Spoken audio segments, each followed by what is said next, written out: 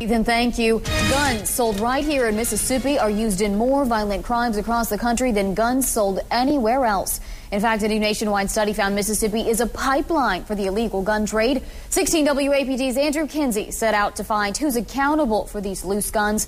He's in the studio tonight. Andrew. Megan, nearly 600 mayors nationwide and federal law enforcement agencies are working to identify ways to prevent the trafficking of guns used in crimes. Many of those guns are from right here in Mississippi. A new report finds that Mississippi leads the nation in exporting guns used in crimes. The study released by New York based group Mayors Against Illegal Guns used federal data to trace back guns used in crimes to their original state of purchase. The report noted a high number of guns used in crimes came from Mississippi. It's fair to say that uh, Mississippi is targeted by uh, the criminal element from other places outside the state of Mississippi.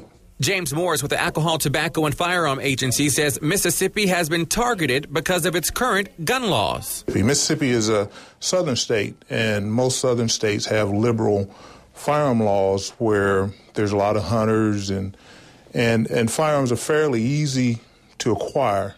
Morris says Mississippi's biggest problem is the transfer of guns through family members and straw purchases. You're not really the actual purchaser of the firearm.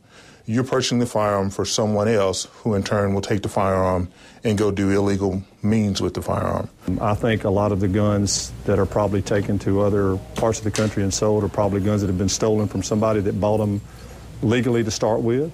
Pawn shop owner Kevin McDonald has been in the business for 21 years and believes the judicial system should be held accountable for all the loose guns. I think the courts are responsible for it. I don't think the law enforcement do anything but their job. They arrest people that commit crimes.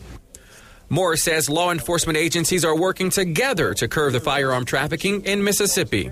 The criminal element is going to get the firearms, and it's up to us, and I mean us as in law enforcement, is to enforce the laws on the books. Moore says he's not in the business of rewriting the laws, just enforcing them. He adds his office has prosecuted several cases involving individuals caught trafficking drugs or guns and will continue to do so in the near future. Megan?